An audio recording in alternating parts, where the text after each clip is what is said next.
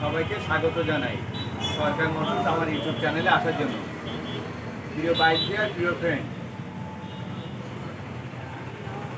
Disk ওপরের master cylinder ভালো আছে। ডিস্ক প্লেটের ভালো আছে। ভালো আছে। ভিতরে ভালো কাজ করে। মিডল কিটটাও ভালো কাজ করে। তারপরে মনে হয় ব্রেকটা ভালো হয় না। ব্রেকটা নর্মাল হয়ে যায়। যেভাবেই লিভারটাকে আমরা চাপ দিচ্ছি বাইকটা ঠিকঠাকভাবে থামে না।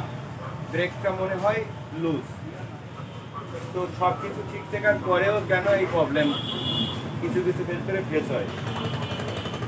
সেক্ষেত্রে শুধুমাত্র আমরা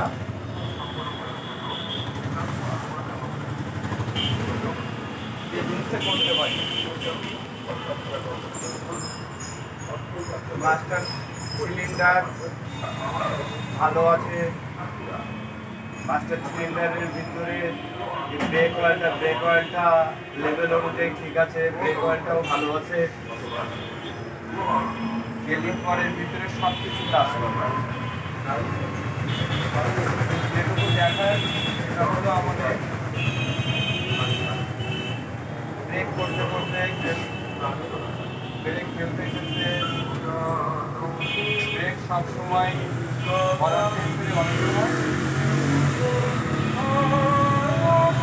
অটোমেটিক একটা হাওয়া তৈরি হয়ে যায় হাওয়াটা জানি ফার্স্ট স্টেপে যেটা করব আমরা, শুধুমাত্র হাওয়াটা ছাড়বো। তো হাওয়াটা ছাড়ার জন্য হাওয়া ছাড়লেই অয়েল চলে আসবে। অয়েল চলে আসলে অয়েলটা ক্যালিপারে গায়ে লাগলে কালারটা নষ্ট হবে হুইলে রাখলে নষ্ট হয়ে যাবে কালারগুলো তো এই জন্য আমরা একটা পাইপ ফিটিং করে নিলাম। আর তেরো নম্বর ডাল ড্রেস দিয়ে। এভাবেই লুজ করব। টাইট একটু বেশি রাখার প্রয়োজন এখানে।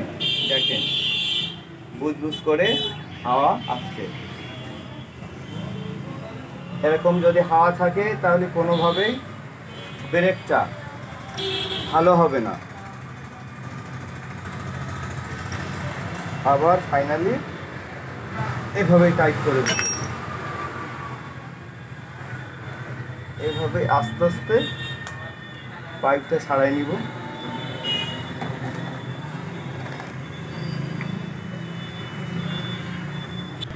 ক্যাপটাকে বসাই দিব। তো ভিওর সব কিছু ঠিক থাকার পরেও যখন এরকম ফিল হবে, অবশ্যই শুধুমাত্র ক্যালিপারের এখানে কিছু কিছু বাইকে দশ এমএম হাওয়া ছাড়ার জন্য আপনার বোল্ট থাকবে। কিছু কিছু বাইকে এগারো এমএম আমার কাছে যেটা এসে সেটা তেরো এমএম তো হতেই পারে।